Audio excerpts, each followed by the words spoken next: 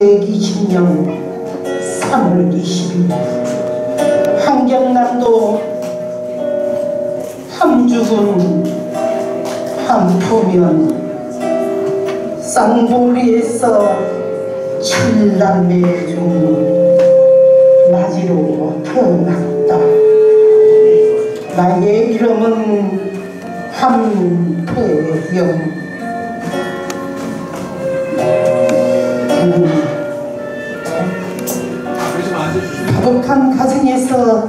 자랐지만 1939년 한승형이란 몽둥이 온 평정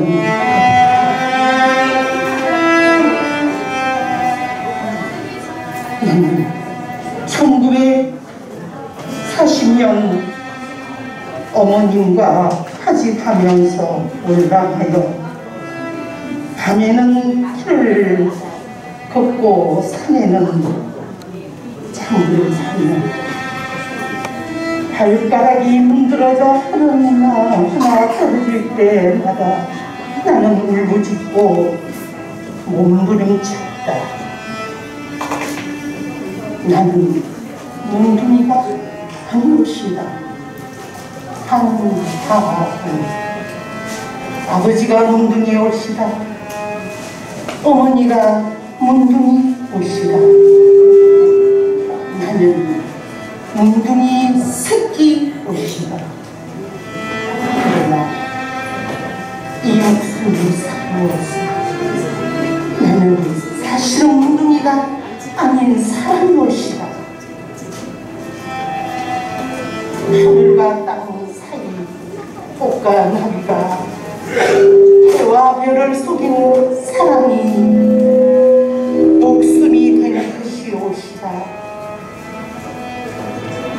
나는 우리가 아닌 사랑이 옷이다. 세상은 이 목숨이 사로워서 나를 웅둥이라 부릅니다. 호적도 없이 대식고 대시고도 없지 할 수는 없어 이 어처구니 없는 나는 웅둥이가 아닌 것이다.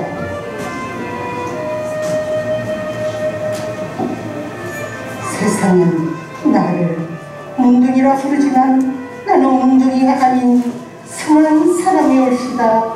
승한 사람이 올시다